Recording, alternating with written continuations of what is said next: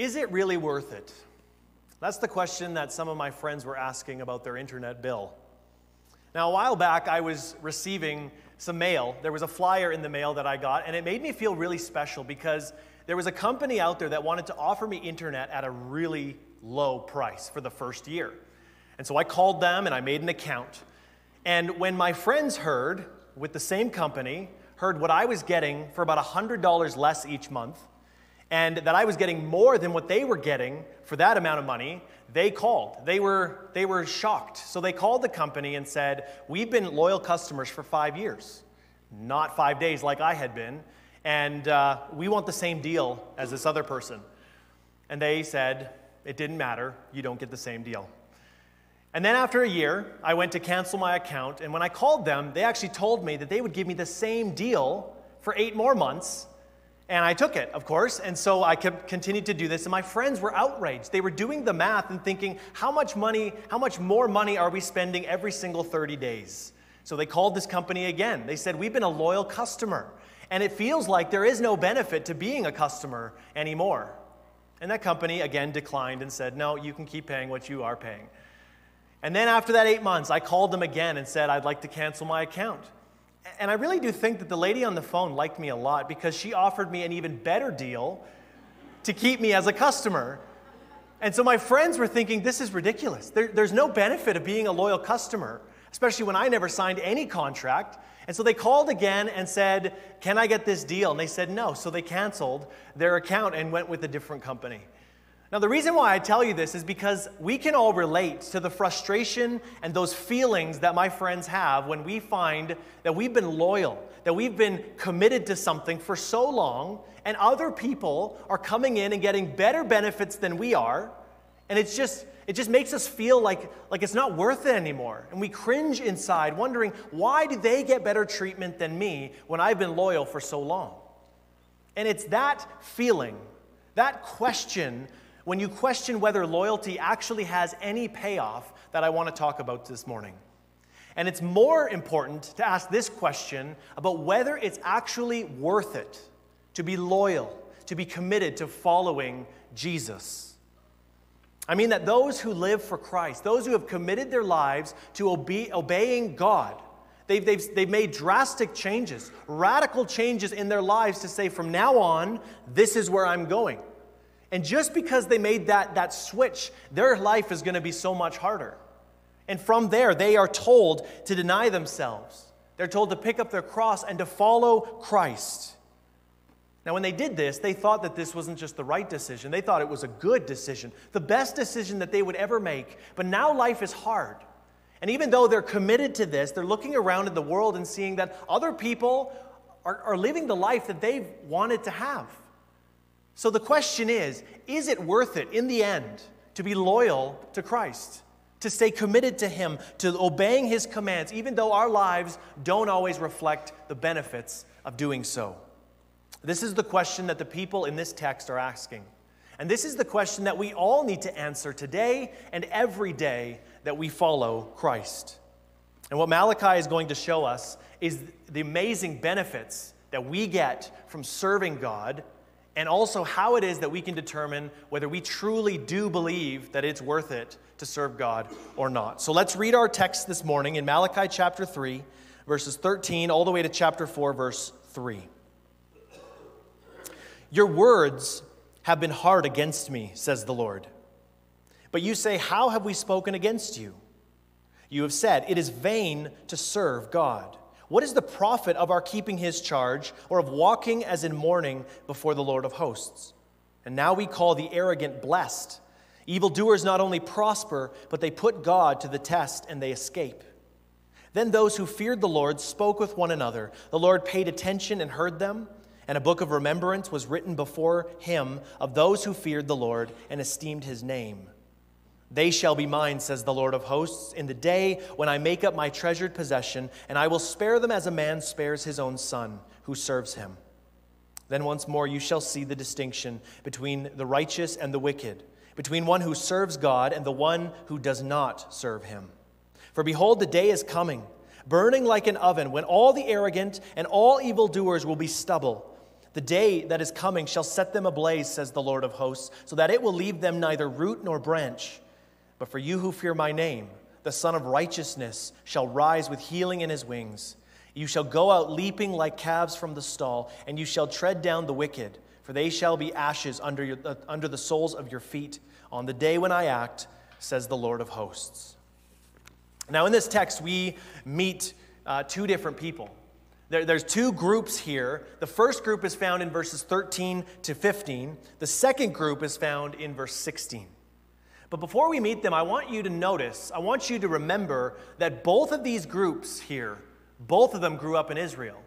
And so they would have heard the family story about how long ago God, the, the good creator of all things, made a covenant with their forefathers. It was a promise, an eternal promise to bless them and to give life to them not only the forefathers, but also all the descendants in Israel who would obey his commands.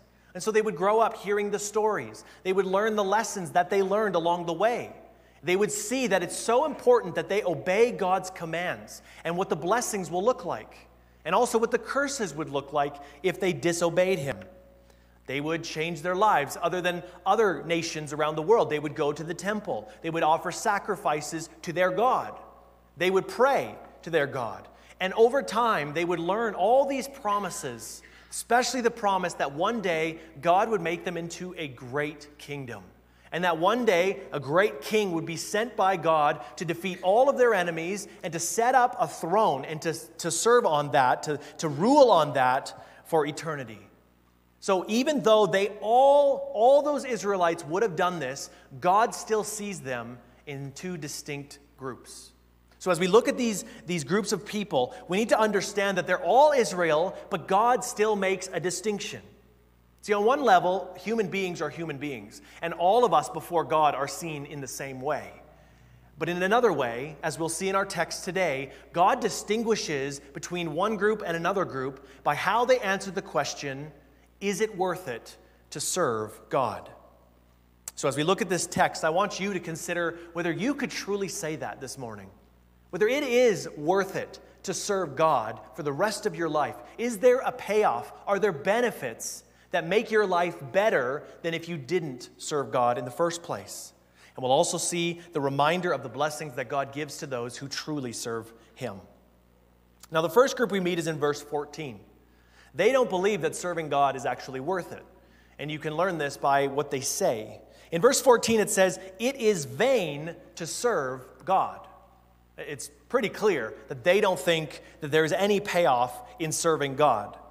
But remember, this isn't coming from people who kind of hear about this and say, ah, I don't think it's worth it. This is people who have grown up doing the things that God requires, living in Israel. And after all of that, they say that it's vain. These people went to the temple. They offered sacrifices. We learn in Malachi that they even wept when God wouldn't accept their offering. So it seemed as though they had served God for a period of time, but now they're saying it's vain, it's worthless, it hasn't made my life any better. It also says this it looks for evidence, so show me that it's worth it. It says, What is the profit of our keeping his charge or of walking as in mourning before the Lord of hosts? So they think back and they think of all these things that they've done. They live differently than the other nations. They've kept watch over their lives, specifically in terms of God's commands. They want to obey His law, they want to avoid breaking His commands. They've gone to the temple, they've done all these things, and yet at the end of all of this, as they looked for that promised king and thought, it's not, it's not happening. Where are the benefits? Where's all the payoff of serving God? And in the end, they say they profit nothing from it. They're asking this question, but they're actually making a statement. There is nothing. There is no profit in serving the Lord. In fact, they even think it's a cruel trick. If you look at verse 15, it takes it one step further. He says, And now we call the arrogant blessed. So the arrogant would be those who don't serve God, who don't obey his law. And they're looking at their lives and saying, They're the ones that are being blessed, not us. We're seeking the blessing and we don't see it anywhere. And we look at the evildoers and they're the ones getting what we actually want for ourselves. They think they're better off than, than serving God. They say that evildoers not only prosper, but they put God to the test and they escape. And so, as they look at these people who have no intention of serving God, they live however they want, they indulge in sin, they do all of these things, they put God to the test, and they get away with it all. This is, this is what they're looking at and saying, I want that. That's what I want, and I don't see any benefit of serving God. In fact, my life is harder and worse because I do. It seems as though the only reason that these people, this group of people, is serving God is because they were born in Israel, because they grew up learning that these are the laws, this is how we're supposed to live. But if they had it their way, they would leave the country, they would live like hell, indulge in all the earthly pleasures that they wanted to. They would eat, drink, and be merry, for there is no benefit to serving God. That's their conclusion after all of this. And as I think about this, I, I think I, I've been tempted to say the same thing. Because my parents went to church every morning, or every morning, every Sunday, and so did I. And so I went to Sunday school. I learned all the foundational biblical stories. I was even in the Christmas choir at church.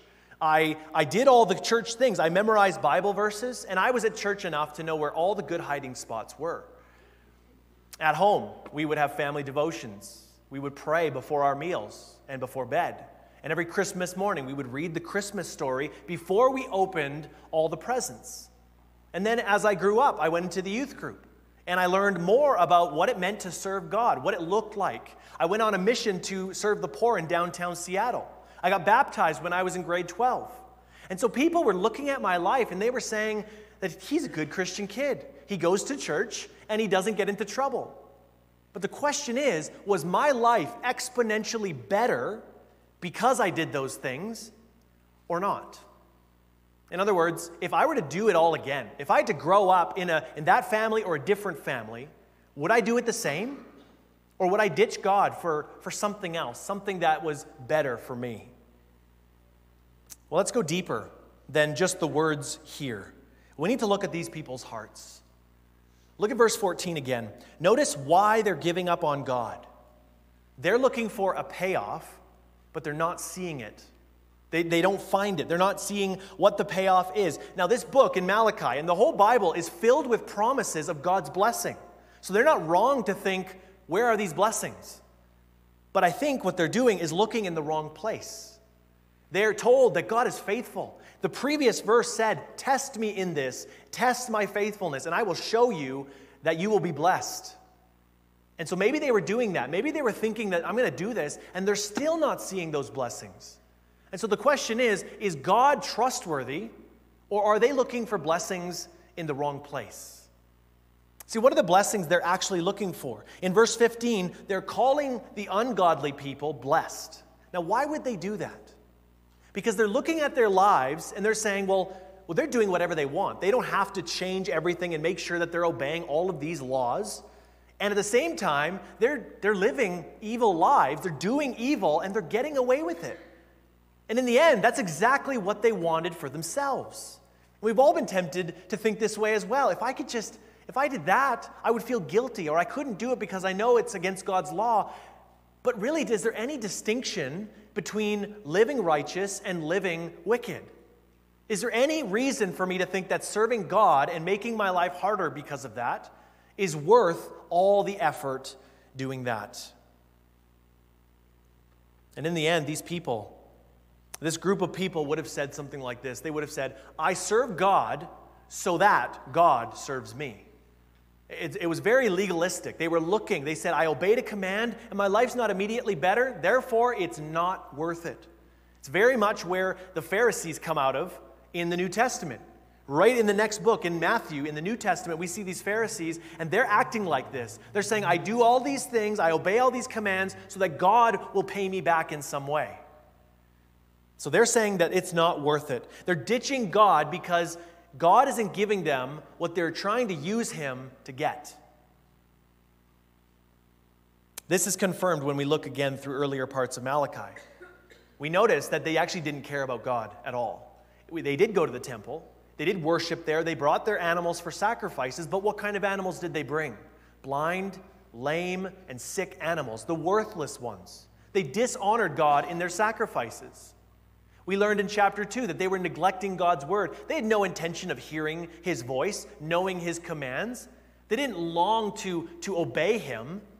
And so they lived in sin because they neglected his law. They did what tradition was, but they didn't actually care to hear his own voice. And then they were weeping at the altar, it says, over God not accepting their offerings when they were busy divorcing their wives and marrying other women who worshiped idols. And the whole time they're despising him, they're dishonoring him, and they're doubting him. And they have no remorse for any of it. And verse 13, it says, Your words are hard against me, says the Lord of hosts. God says, Your words are hard against me. And we're supposed to get this idea that these words that they're talking about, it is vain to serve God, is just like coming from a heart that's like Pharaoh's hardened heart. They were willfully defiant. They, they were unyielding to any of God's gracious calls to return to Him. They, they didn't want to hear it. They despised God. He isn't giving them what they want in life. And so they would answer this question by saying, No, it is not worth it to serve God. Of course not. He's not giving us what we want. And if you look at other people, they're getting that stuff. So it's really, there's, it's really no payoff at all to serve God. And I wonder if you look into your heart that maybe these are words that you've maybe not said out loud, but thought. Maybe you've actually just felt these feelings before. But to answer this question for yourself today, is it worth it to serve God? God's not only going to look at your words, the answer, He's going to look at your heart. And we can trick people, we can deceive people, but we cannot deceive God. He looks deeper. And personally, I know that it's hard in some churches to go through times of doubt where you're searching, where you're really questioning things genuinely. You want to know, is it worth it? Because today it doesn't feel like that. And there are some churches that frown upon questions about God and times of searching in people's lives. They just kind of say, nope. And people are conditioned to put on masks and to, and to keep all their doubts secret. Meanwhile, everyone else in that church is doing the exact same thing. And what I want to encourage us in is that if this is what you're asking this morning, if this is what you're truly wondering, and there are days when you might feel this way, Christians feel like this sometimes. I'd rather you explain them, to, to not keep silent, but to explain it to people and say, This is how I'm feeling. And ask them to encourage you, ask them to remind you of the blessings, that it is worth it in the end. Because if we, if we forget how sinful we are, if we forget how human we are, if we forget how weak our, our flesh really is, then we're not going to support and encourage one another as God has designed His church to be. And so, all this to say is that if you're struggling with this question right now, maybe by asking it, you've begun to think, you know, I don't know. Is it really worth it? How would you explain this to a friend who asked you that question? What would you say to them? And if you're searching for an answer, or at least a good answer this morning, then keep listening, keep searching. For Malachi is going to show us what it means to be able to say yes to that and also the benefits that we receive that these people weren't even noticing. So let's meet the second group of people now. Verse 16 describes them very simply. He calls them those who feared the Lord. Now, we're not told anything of what they said. It says that they started to speak to one another, but we don't know what they said. There's no words here. All we know is that they feared the Lord. And it's a matter of the heart. This is what distinguishes them from the other group. The other group was talking, and you can tell what they were like. And this group feared the Lord. That's the difference. It's a matter of the heart. If you were to merely look at the actions of the first group, they would be at the temple, they would be offering sacrifices, and from a distance, you might say, they're, they're serving God. But once you hear what they're saying, you know that they're not. And in this group here, we're told that they fear the Lord. It doesn't matter what they say, we can assume that they are honoring to God, that they truly love and serve the Lord. Now, when it comes to fearing the Lord here, it doesn't mean that we're scared. That's often how we think of that word, that we're scared of God or something like that. This word is, is often used in the Bible as, as respect or honor or, or something like that, that they would revere God. And basically, what this means, how I would explain it, is that you understand who God is and you treat him accordingly.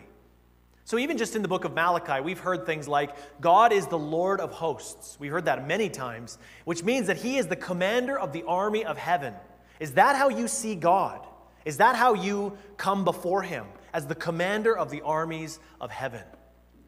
Malachi has also told us that he is a great king in all the earth, and therefore he is worthy of all praise and honor and glory and even your and everyone's submission. Is that how you see God? Do you fear him like that? We're told that, that God is unchanging in justice, and he will give to everyone exactly what they deserve in the last day. Is that how you see him? Do you see him as the God of holiness, that we might not sin against him, that we shouldn't trifle with him or tread lightly in his presence? Is that how you see him? But these people who feared the Lord, that's what they knew. They believed and, and truly understood who God was, and they treated him accordingly. They feared the Lord. Later in verse 16, it says that they esteemed his name.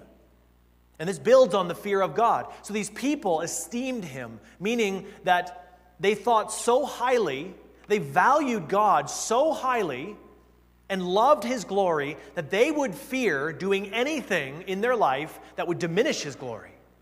They, they, would, they would guard themselves against that. In other words, they loved God so deeply and valued him so highly that they loved to obey him. They wanted to make much of God. And that's the difference between these two groups of people. One was looking for a payoff, but in the wrong place. The other one is looking for the payoff, and they're getting They're getting God Himself. The payoff for them was immediate and constant. They saw it because they were looking in the right place. And, and so, what are they? What, where are the, be- the benefits? What are the blessings? One group is looking for the temporary treasures of this life health, wealth, security, good reputation, popularity, whatever it might be. That's not what God has promised to give us. But instead, this other group is overflowing with joy because they are getting what they treasure most the one they fear and the one they esteem most, which is God Himself. And I wonder if this is you. Is God your greatest treasure? If He's not, God isn't afraid to entice you, even with explaining what the benefits really are. Because all of the benefits that we're going to see here actually culminate in God Himself. So when we go through these four benefits that Malachi will bring up, if, if you desire worldly wealth more than God, then these benefits won't excite you at all. You won't want them. You'll say, that's not worth it. But if you truly value God more than anything else than this world can offer you, then you will, you will think that this is too good to be true. That because what you get is what you want most God Himself. So, verse 16 says this The Lord paid attention to those who feared Him, and He heard them. So, that's the first benefit. The first benefit of serving God is His personal attention. So, what they're, what they're saying is that although God is all knowing, He would have heard every word that every other group of people all the other people that say it's not worth it, he would have known what they said. He knew because he said, Your, hard, your, your words are hard against me. He heard them, but in this case, he gives his personal attention. He draws near, he listens intently so that he understands his servants. This is what he does. And what better benefit would there be than for you to say, I've served God, I live for him, and there are days when it's really hard. And when I cry out to God, I know that He hears my cry for help. That when I'm suffering, that when I'm being persecuted because I live for Christ, I know that God is drawing near to me and is sustaining me in that time. Or when I walk through the valley of the shadow of death, God is with me. God sustains me. God will walk me through that valley. This is a benefit that those who truly serve God, who truly value Him, want. And they will have this as one of their benefits. Now, the second one that we see is even more encouraging, at least in my opinion, to the servants of God. It says, A book of remembrance was written before Him. Now, just imagine that. That God not only pays attention to you, He draws near to you, but He also records your name in heaven to say that I will remember you. So he's, he's doing more than just paying attention. He records it in a book of remembrance. But again, being God, he would have, he would have known all of this. He would never forget. But he tells us in a way to encourage us This is a book of remembrance, and your name is written in it.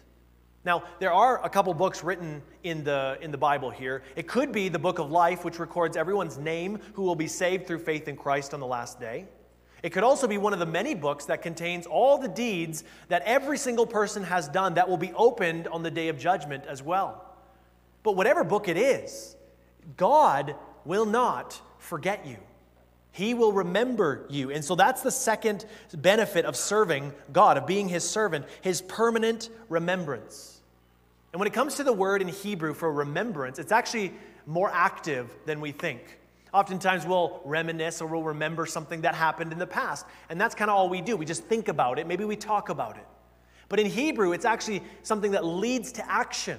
It's almost a verb. To remember, it, it, leads to more than just something, a thought in the mind, but an action in light of that thought.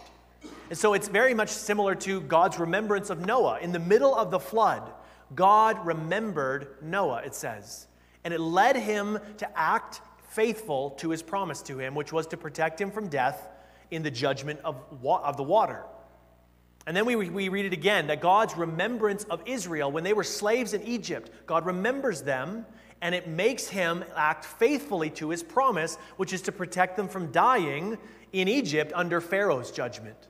And so it will be in the same way that this book of remembrance reminds God, so to speak, that we are His, who it is that is truly His servant. And on the last day, it will, act, it will cause Him to act in faithfulness to His promise to His servants, which is to protect them from eternal death on the day of judgment. And so this is another benefit of serving God is that neither you, your name, nor any of your deeds will ever be forgotten. They will never be forgotten by God. Everything you do today in this life Serving God is worth it because you will receive the promised rewards one day. And the third benefit is in verse 17. It says, They shall be mine, says the Lord of hosts. So God makes you his own possession. It says, My treasured possession, even. When we think of servants, as we think about them today, we often don't think of them very highly. We think of them in terms of, of being treated unfairly or as lesser than or inferior to the master. But with God, He treasures His servants. He, he treats them like beloved children of His own. And so, the third benefit of serving God is His joyful delight. Now, there's lots of things in your house that, that you might say are valuable. But what's the one thing that you would try to save if your house was on fire? Whatever that is, that's your treasure. That's what you value most. It may not be the most expensive thing in your house, but you treasure that. It means the most to you. And that's the idea we have here. God makes us into his treasured possession. He, he, he makes us that. He treasures us. He delights in us. He wants us. And when he looks at his servants, he is pleased. He is delighted. We are his treasure. And I know that many of us won't want to be a servant in this life. But when the master will treat you like his very own child, who wouldn't want that? And that's exactly what the fourth benefit is. It says in verse 17, I will spare them, his servants, as a man spares his own son who serves him.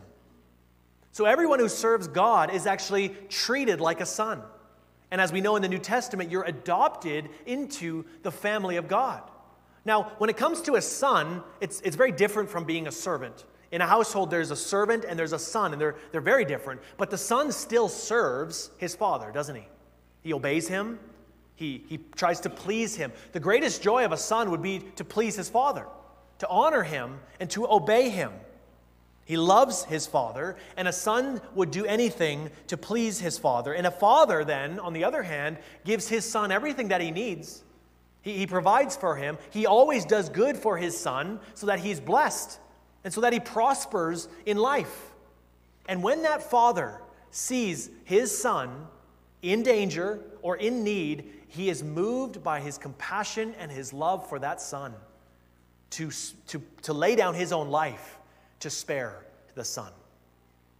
And then the fourth benefit of serving God is his compassionate protection. So there are benefits. But the question is is it worth it? Is serving God really worth it? And answering that question is a matter of the heart.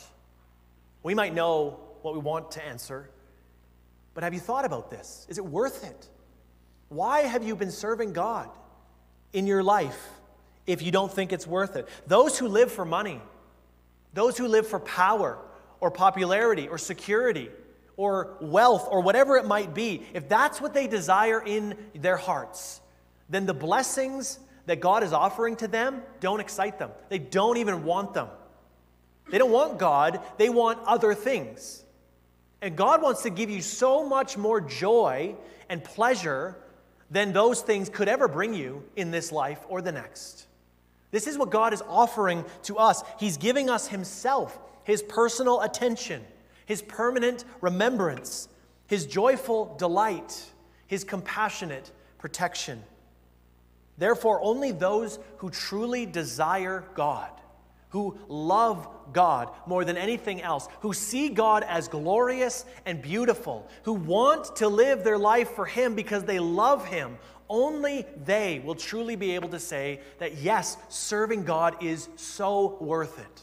That there is nothing else that I would rather do and nothing else that you can offer me that would make me change my mind because I get God, the one whom I fear, the one that I esteem.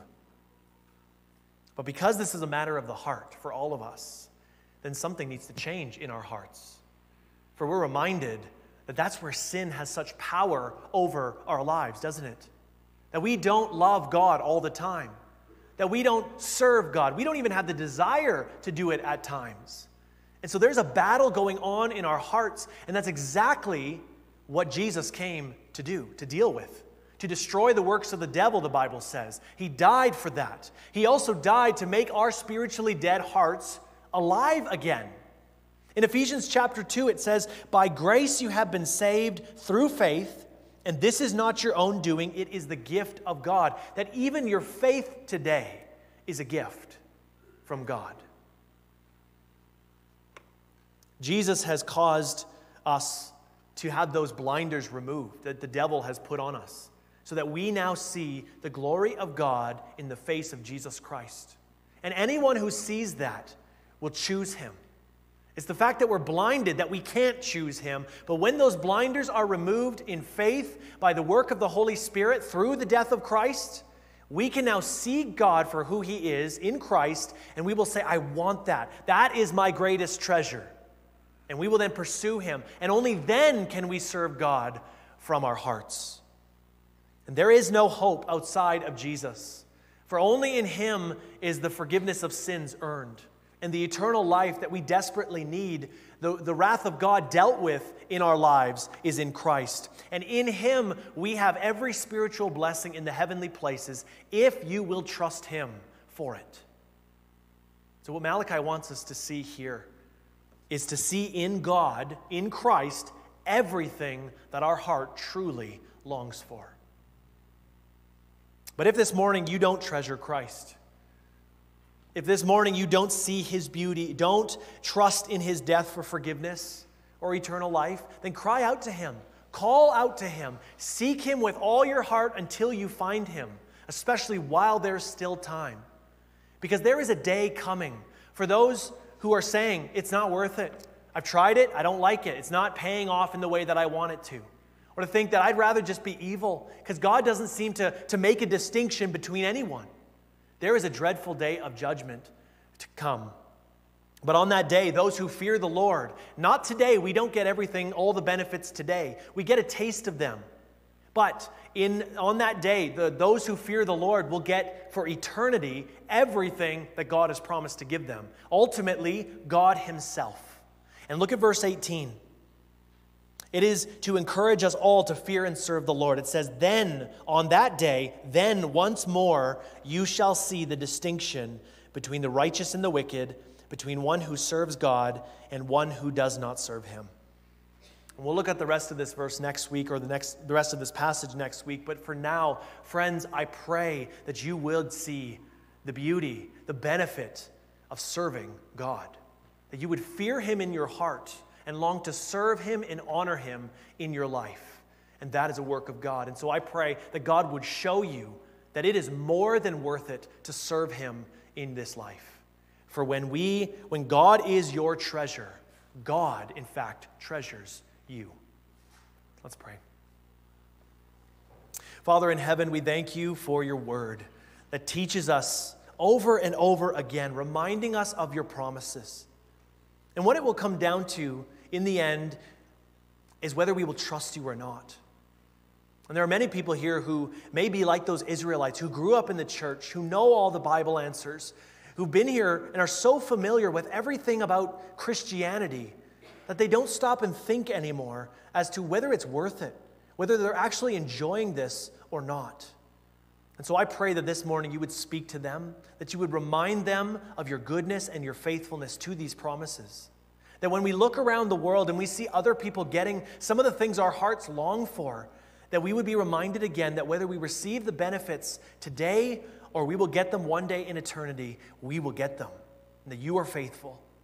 I thank you that you tell us here that you will give us your attention, that you will never forget us, that you delight in us, that there is joy in our relationship with you, and there's peace. And also that you protect us and that you will keep us until the last day.